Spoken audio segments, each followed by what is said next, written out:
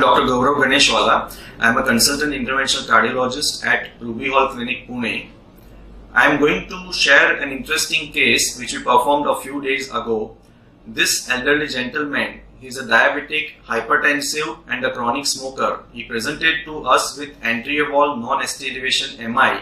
He was stabilized with dual antiplatelets, statin, low molecular weight heparin, Later on, on the next day, he underwent coronary angiogram, which revealed a critical double vessel disease. So, concentrating on the angiogram, it's a left codominant circulation. However, LCX does not have any significant stenosis in the major arteries.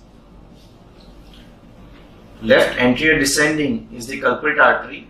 It's a type 3 vessel with a large circulation. There is a proximal ectasia followed by critical calcific stenosis in the mid and distal segment and the calcification is quite dense here.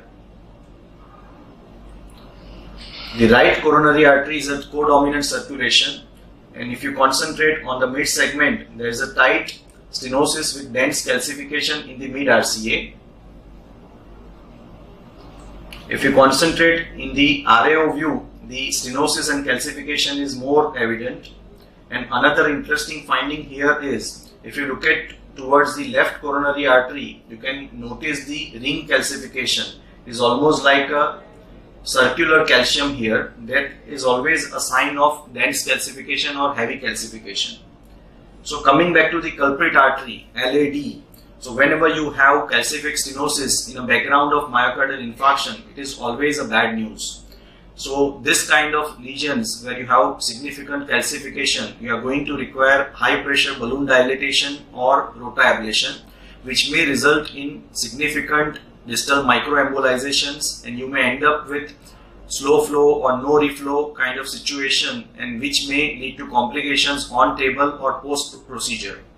So in this particular case, we had options like non-compliant balloon, cutting balloon, scoring balloon or rotablation. The problem with non-compliant balloon in a significant calcific artery is there is unequal distribution of pressure when you inflate the balloon at the lesion site and this may result into significant dog boning effect and may end up with extensive dissections and very rarely in a case of calcific stenosis you may end up doing a perforation.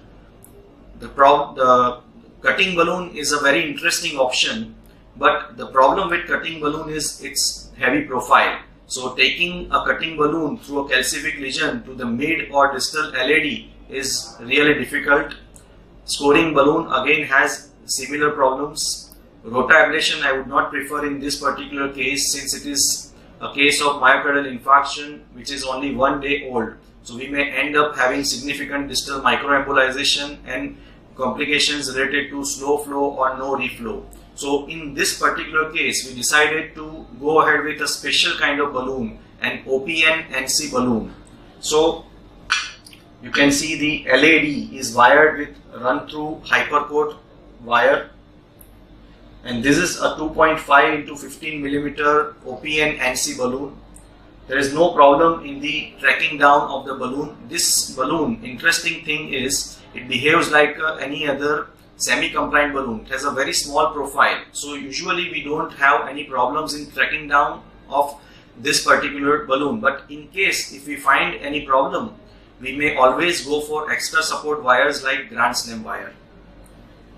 Now more, most important thing here is look at the expansion of the balloon. So this balloon has got double layers and it provides a uniform distribution of pressure dynamics inside the balloon which results in controlled growth and uniform expansion of the balloon. So there is no dog, dog boning effect, the lesion has opened up, no residual stenosis and balloon appears expanding uniformly. So the distal lesion here was dilated at as high as 30 atmospheric pressures.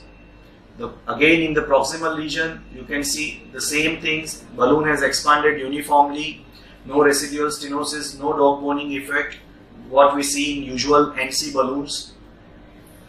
Here we went at as high as 36 atmospheric pressure and after aggressive balloon dilatation, this is the check angio. You can see the lesions have opened up very well, bed preparation looks adequate, flow is maintained. However, there is small dissection at the distal lesion, but that is not, not a concern in this particular case. It is very common in calcific stenosis. This is very interesting. The other problem what we find when we are dealing with a calcific lesion is even after rota ablation or balloon dilatation, tracking down of stent is very difficult. In this particular case, we had a long lesion extending from the mid to distal LAD and that is why we had to use a long stent, a 3 into uh, 48 millimeter stent. But you can see the stent is sailing through the vessel very easily, no resistance, no difficulty whatsoever. So this again tells us that the bed preparation is excellent. The position is confirmed, stent is deployed. Again, very important, the stent is expanded very well uniformly. You don't see any residual stenosis or any difficulty in the deployment of the stent. Stent was post dilated with a 3O NC balloon at high pressures and this was the final result. Stent has expanded very well. The flow distally is TIMI 3, no residual stenosis, no edge dissection, overall satisfactory myocardial blush. So in this particular case, we could avoid rota ablation or cutting balloon and we could achieve result which is as good as with rota ablation. So this NC balloon here helped us in making the procedure very simple. Coming on to the right side, same wire run through hypercoat was used in this particular artery. Initially I thought that uh, this may be a relatively softer lesion hence I decided to use the conventional NC balloon. However, you can see here the conventional NC balloon is having trouble in opening up the lesion. There is a dog bone effect, lesion is not giving away. Hence I finally decided to use the same OPN NC balloon which was used on the left side. So this is again 2.5 into 15 millimeter OPN NC balloon. Now you can see I am going at almost 35 atmospheric pressures. The balloon has expanded uniformly. There is no dog bone effect. This is the trackability of stent after OPN NC balloon. No difficulty in tracking the stent. Again, it is sailing through the vessel very easily without any kind of difficulty. The procedure afterwards was very simple. Stent deployed, post dilated with uh, 3O NC balloon, and this was the final result. You can see the stent has expanded well, no edge dissection, TIMI 3 distal flow, satisfactory myocardial blush. So in this particular case, we used OPN balloon in both LAD and RCA and we could achieve result as comparable to rota ablation without any having any complications. So the message from my side is OPN NC balloon is a relatively small profile balloon. It behaves like any other semi-compliant balloon. So trackability is not a major issue with this particular balloon. However, in case if you face any difficulty in trackability of balloon, you can always go for extra support wires like Grand Slam wire. The other important point here is it's a double layer balloon which actually has uh, equal distribution of pressure inside the balloon which results into controlled growth and uniform expansion of the balloon and this actually prevents extensive dissection or perforation and open opens up the calcific stenosis very adequately. So this makes our procedure easy. You can go as high as 45 atmospheric pressures. In this particular case, we used this balloon at 35 up to 35 36 atmospheric pressure on left and right both the arteries without any complications. So many times we have situations, we have complex calcific lesions where rota ablation is necessary, but we avoid angioplasty and we send the patient for CABG because of inavailability of rota ablation or sometimes due to fear of rota ablation. But I pers personally feel that this case may be an example. You can use OPN NC balloon in such moderate to high level calcification with any kind of with, with similar ease without any kind of complications.